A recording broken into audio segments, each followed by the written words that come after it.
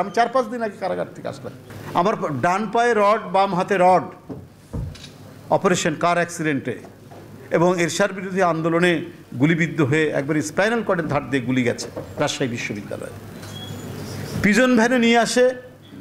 Pigeon ভ্যানের মধ্যেও একটা ধরেন ভাঙাচুরা একটা বেঞ্চের মতো থাকে, বসা যায়। যে আমাকে যেগুলোতে নিয়ে আসা হচ্ছে, সেখানে কোনো বেঞ্চেও নাই এবং দাঁড়িয়ে যে আসব সেই দাঁড়ানোর যে স্ট্যান্ড, ভিতরে যে কোনো একটা হয়তো ইয়ে থাকবে। মানে ধরার কোনো হাতল বা ইয়ে সেটাও কিছু নাই। যদি একটা সামান্য, আপনি আপনারা তো জানেন যে ওটা একটা, কী বলব মানে একটা ম- মুড়ির টিনের মতো বা একটা ইয়ে মানে কাভার্ড ভ্যান যেমন থাকে, এরকম একটা কাভার্ড ভ্যানের মতো মানে মুরগির খাঁচার মতো একটা ব্যাপার। যে সামান্য একটু মানে ব্রেক কষলে পরেই ওখানে তিনটা ডিগবাজি দিতে হবে। অর্থাৎ গায়ে তারা আঘাত করছে না, কিন্তু ইনডাইরেক্টলি পরোক্ষভাবে যত ধরনের শারীরিক নির্যাতন সে নির্যাতন করছেন। কারণ যে বিএনপির নেতাদেরকে নির্যাতিত হলে পরে কারা কর্তৃপক্ষের সুনাম হবে, কারা কর্তৃপক্ষের প্রমোশন হবে? এইটাই। পুলিশও তাই করছে, তারাও সেটি করছে। আমার সাথে মানে আমরা যেখানে ছিলাম, যে ডিভিশনে ছিলাম, সেটার একটা সামনের বড় গেট, বড় জায়গা, তার সামনে গেটের সামনে মীর শরাফত আলী সপু, আমাদের স্বেচ্ছাসেবক বিষয়ক সম্পাদক। দুই, তিন দিন আমার সাথে ওই গেটে এসে কথা বলেছে। তারপরের দিনই তাকে কাশিমপুরে ট্রান্সফার করে দিল। অর্থাৎ কারাগারের ভিতরেও আরও কারাগার তারা রচিত করেছে বিএনপির নেতাকর্মীদের মধ্যে। তারা কারোর সাথে কথা বলতে পারবে না তারা স্বাভাবিকভাবে চলাচল করতে পারবে না তারা সব সময় আবদ্ধ থাকবে সেলের মধ্যে রুদ্ধশ্বাস অবস্থায় তাদেরকে রাখতে হবে। এটাই ছিল কারা কর্তৃপক্ষের মূল কাজ। ডিবি অফিস থেকে শুরু করে সরকারের সকল বাহিনী নেকড়ের মতো হামলে পড়ল পার্টি অফিসের মধ্যে। চারশো সত্তর জন শুধু পার্টি অফিস থেকে অনেকে আতঙ্কিত হয়ে ভয়ে পুলিশের সাউন্ড গ্রেনেড, পুলিশের গুলি, পুলিশের একের পর এক অস্ত্র ব্যবহারের মুখে সব হুড়হুড় করে পার্টি অফিসের মধ্যে ঢুকেছে। সেই পার্টি অফিসে রেড করে চারশো সত্তর জনকে তারা ধরলেন। তার দুই দিন পর বাসা থেকে দলের মহাসচিব মির্জা ফখরুল ইসলাম আলমগীর এবং স্ট্যান্ডিং কমিটির মেম্বার মির্জা আব্বাসকে ধরলেন। সবাইকে কারাগারের মধ্যে নিয়ে নিচে শুইয়ে রাখা হলো। আইন হচ্ছে যারা এমপি তারা অফিস থেকে সরাসরি তারা ডিভিশন পাবেন, তারা শ্রেণীপ্রাপ্ত। কিন্তু কারা কর্তৃপক্ষ সবাইকে সাধারণ বন্দীদের মতো একটি জায়গায় নিয়ে থাকলেন, তারা ফ্লোরে ঘুমালেন। এর আগেও আমরা এটা দেখিনি। কখনোই দেখিনি। ব্রিটিশ আমলে তো ছিল, ব্রিটিশ আমলে রাজবন্দি বলতেই একটা আলাদা মর্যাদা ছিল। হাসিনার সরকার ঔপনিবেশিক আমল, ব্রিটিশ আমল, পাকিস্তানি আমলের নির্যাতনকে হার মানিয়েছেন। হার মানিয়ে তিনি একটা নতুন নির্যাতনের মাত্রা তৈরি করেছেন। সেটা হয়তো রাষ্ট্রবিজ্ঞানের ভাষায় নতুন একটা অধ্যায় হতে পারে, নতুন একটা চ্যাপ্টার হতে পারে যে শেখ হাসিনার অত্যাচার। যেমন হালাকু খানের যে- বর্বরতা, হিটলারের বর্বরতা তার মুসলিনীর বর্বরতা তারপরে চেঙ্গিস খার বর্বরতা, ঠিক শেখ হাসিনার বর্বরতা বলে রাষ্ট্রবিজ্ঞানে একটি অধ্যায় রচিত হবে। একটি অধ্যায় লেখা হবে। যদি আমরা সেই জিনিসগুলো দেখি। আর কারা কর্তৃপক্ষ কি? সব সিসি ক্যামেরায় বসিয়েছে। তারা সেই সিসি ক্যামেরায় দেখেন, কারাগারের সর্বোচ্চ কর্মকর্তা দেখেন যে আমাদের সাথে কেউ কথা বলছে কিনা। আমরা কত নিপীড়িত, নির্যাতিত আছি? এবং এইটা তিনি দেখে এটা আমার মনে হয় যে কাউকে খুশি, অর্থাৎ প্রধানমন্ত্রী খুশি করার জন্য, যাতে তার আরও প্রমোশন হয়। যে দেখুন ম্যাডাম, তাদেরকে আপনি এখানে ঢুকিয়েছেন, আমরাও কিন্তু এখানে শান্তিতে থাকতে দিচ্ছি না।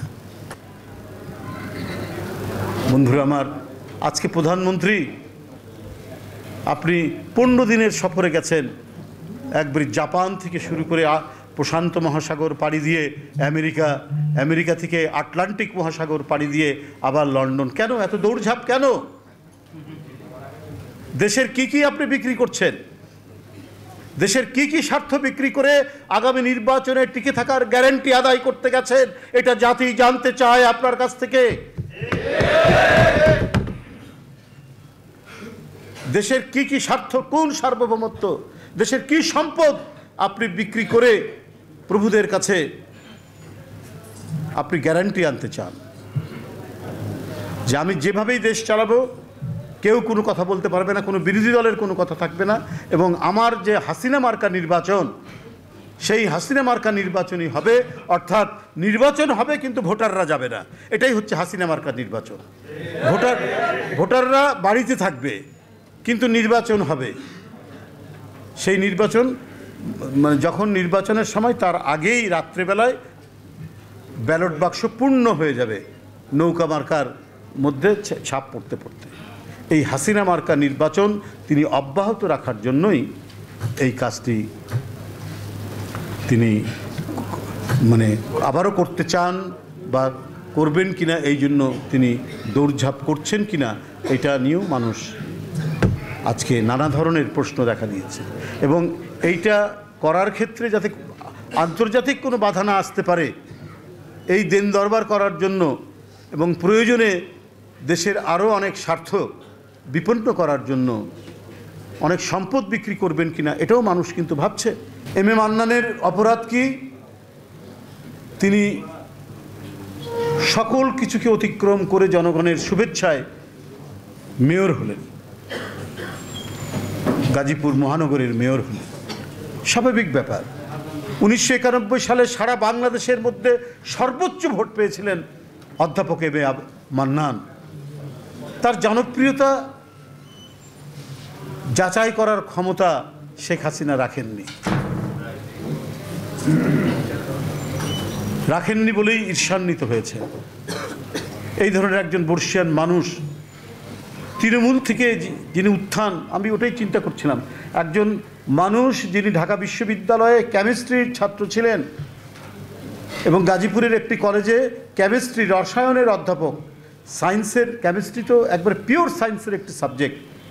এইখানে অধ্যাপনা করে তৃণমূল থেকে সংগঠন গড়ে তোলা খুবই কঠিন ব্যাপার। আব্দুল অধ্যাপক আব্দুল মান্নান সে অসাধ্য সাধন করেছে। যেটা আমাদের নিজের চোখে দেখা। এবং করেছেন বলেই জনগণের সাথে তার নিবিড় সম্পর্ক, জনগণের কাঁধে কাঁধ মিলিয়ে তার কাজ করার যে অনন্য অভিজ্ঞতা, যার কারণে একানব্বই সালে সারা বাংলাদেশের মধ্যে তিনি সর্বোচ্চ ভোট পেয়েছিলেন। এটা একটা বিরাট রেকর্ড, অধ্যাপক আব্দুল মান্না। তো তিনিই তো মেয়র হবেন। ন্যূনতম যেখানে স্বচ্ছ ভোটের সম্ভাবনা রয়েছে, সেখানে অধ্যাপক আব্দুল মান্নান ছাড়া যিনি বিএনপির প্রার্থী, ধানের শীষের প্রার্থী তিনি তো জিতবেন। শেখ হাসিনা এটা সহ্য করবে কেন? শেখ হাসিনা এবং আওয়ামী লীগের ঐতিহ্যই হচ্ছে তারা স্বচ্ছতা, সুষ্ঠু, অবাধ এই শব্দগুলির সাথে তারা পরিচিত নয়। এই শব্দগুলিকে তারা কখনোই সহ্য করতে পারে না। তাই আব্দুল মান্নান মেয়র হওয়ার পরে তার দিবানিশি কেটেছে লাল দেয়ালের মাঝখানে। তার সোচ্চার কণ্ঠ। ভাই, মানুষ মেয়র হিসাবে এক দুই বছর গেলে পরে না বোঝা যাবে যে তিনি দুর্নীতি করেছেন কি করেননি। ডেভেলপমেন্ট ওয়ার্ক শুরু হবে, বিভিন্ন কাজ শুরু হবে।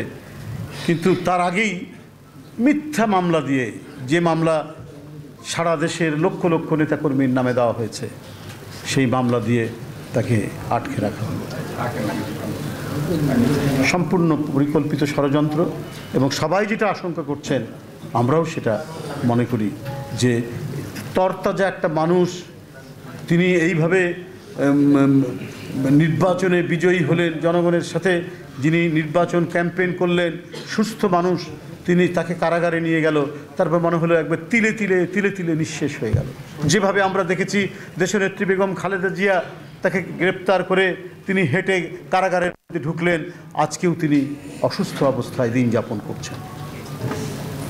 এর পিছনে গভীর ষড়যন্ত্র আছে, গভীর চক্রান্ত আছে।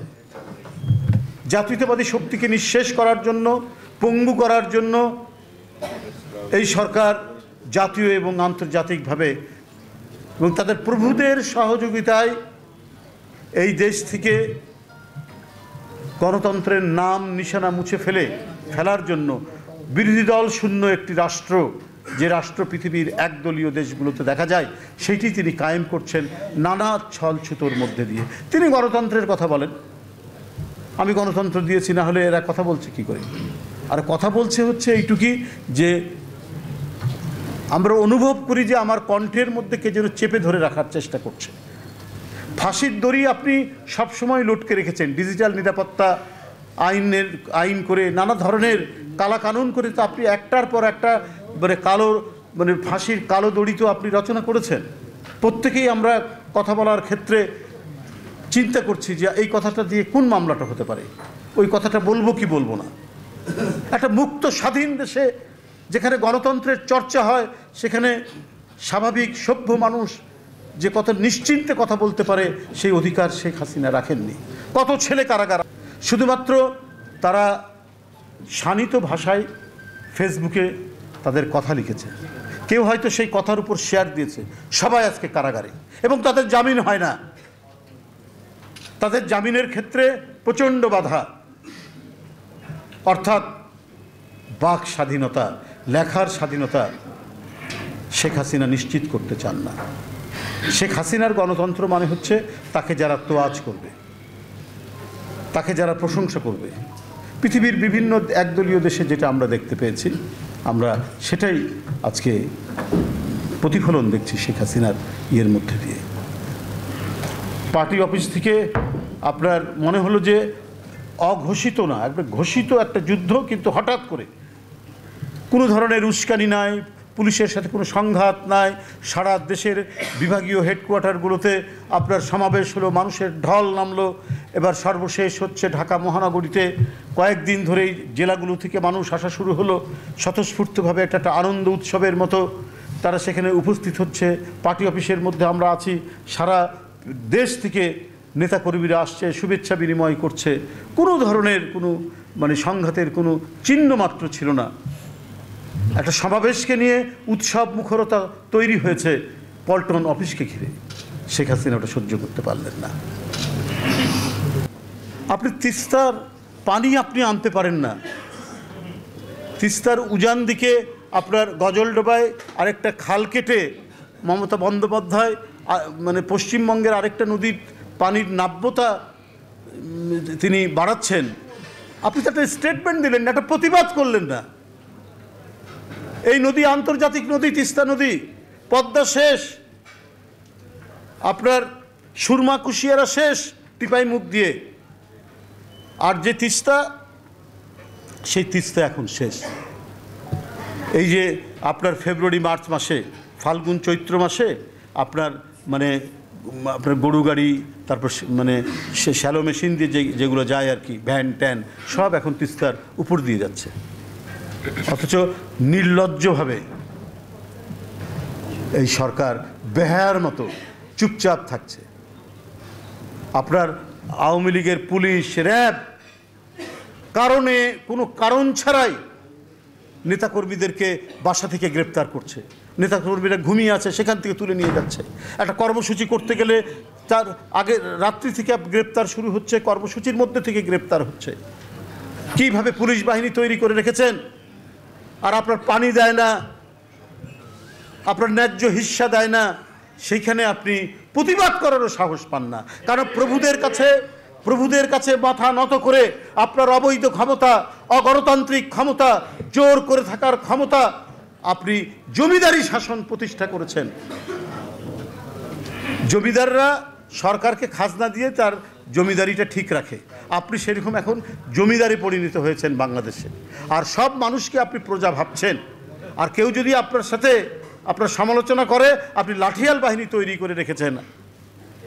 অথচ দেশের স্বাধীনতা সার্বভৌম থেকে রক্ষা করার জন্য, এটার প্রোটেকশনের জন্য নিজের পানি, বাতাস, মাছ, গাছ, এগুলো রক্ষা করার জন্য, পরিবেশ রক্ষা করার জন্য আপনি কিছুই করেননি। কিছু উন্নয়নের কথা বলে লুটপাটের সুবিধা করে আজকে দেশে বিদেশে আপনার যে প্রাসাদ নির্মাণ করছে আওয়ামী লীগ ক্ষমতাসীন দলের লোকরা সেই তারা কয়েকজন ছাড়া গোটা দেশ আজকে যেভাবে হাহাকার করছে যে সাধারণ মানুষরা যে ভয়াবহ মানে মানে সরকারি ইয়ের মধ্যে রয়েছে উম, যাতনার মধ্যে রয়েছে এটা বলার অপেক্ষা রাখে। তাই বন্ধুরা, আমার বক্তব্য আমি আর দীর্ঘায়িত করতে চাচ্ছি না। আমি আবারও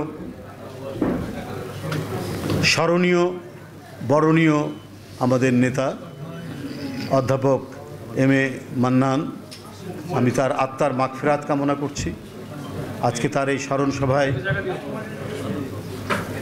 আজকে তার এই স্মরণ সভায় আমি আবারও বলছি যে এখনও কোনো কারণ ছাড়াই আপনার সাইফুল ইসলাম নীরব, মুনায়েম মুন্না, যুবদলের সাধারণ সম্পাদক এবং ঢাকা মহানগর যুবদলের আহ্বায়ক গোলাম মৌলা শাহিন, যুবদলের ভাইস প্রেসিডেন্ট জাহাঙ্গীর কারাগারের মধ্যে অন্যায়ভাবে একটা মামলা শেষ হচ্ছে, আবার আরেকটা মামলা দিচ্ছে। কারণ তারুণ্যের শক্তি যাতে বাইরে না থাকতে পারে শেখ হাসিনা এত আতঙ্কিত, এত ভীত যে আজকে মুন্নাদেরকে, আজকে নীরবদেরকে, আজকে শাহিনদেরকে কারাগারে আটকে রেখে তিনি নিশ্চিন্ত করতে চাচ্ছেন তার অবৈধ ক্ষমতা রক্ষা করার জন্য। আমি অবিলম্বে সাইফুল ইসলাম নীরব, মুনায়েম মুন্না, গোলাম মাওলা শাহিন এবং জাহাঙ্গীর হোসেনের নিঃশর্ত মুক্তি দাবি করছি। আমি রফিকুল আসলাম আমি রফিকুল ইসলাম, কি নাম? হাওলাদার রফিক হাওলাদার, স্বেচ্ছাসেবক দলের ভাইস প্রেসিডেন্ট। রফিক হাওলাদার আজকে দীর্ঘদিন ধরে কারাগারে। একটা মিথ্যা মামলা দিয়েছেন কি মানিকের গাড়িতে নাকি ভাঙচুর? সাবেক সাবেক বিচারপতি। কারা কে ভাঙচুর করেছে, না করেছে, কিন্তু ওই মামলা দিয়ে আটকে রাখার চেষ্টা করা হচ্ছে। এলিস, ছাত্রদলের সাবেক সাধারণ সম্পাদক। গাজীপুরের বর্তমানে আহ্বায়ক মহানগর মহানগরের যুগ্ম আহ্বায়ক। তাকে কারাগারে আটকে রাখা হয়েছে। খামাখা, কোনো কারণ ছাড়া। ও, আজিজুল বাড়ি হেলাল, আমাদের ছাত্রদলের সাবেক সভাপতি এবং খুলনার একটি আসনে সে আমাদের প্রার্থী ছিলেন ধানের শেষে। তাকে সে হাজিরা দিতে গেছে। তার জামিন বাতিল করে তাকে কারাগারে নিয়ে যাওয়া হয়েছে। এগুলো এগুলো অন্য কোনো কারণ নাই। এগুলোর কারণটা হচ্ছে শেখ হাসিনার আতঙ্ক থেকে। যে বিরোধী দলের এইভাবে কারাগারে রেখে যতদিন পারা যায় ক্ষমতায় থাকতে হবে। কেউ বের হবে, আবার কাউকে ঢুকাতে হবে। এটা হচ্ছে তাদের একটা পরিকল্পনা। সেই পরিকল্পনার অংশ। এবং সেই ক্ষেত্রে নিজের নদী বিক্রি করে দিয়ে, নিজের দেশের মাটি বিক্রি করে দিয়ে, নিজের দেশের গ্যাস বিক্রি করে দিয়ে, নিজের দেশের কয়লা বিক্রি করে দিয়ে, নিজের দেশের সম্পদ বিক্রি করে দিয়ে শেখ হাসিনা তার সিংহাসনটাকে অটল রাখতে চাচ্ছেন। তবে আর বেশি দিন আর বেশি দিন এটা তিনি পারবেন না।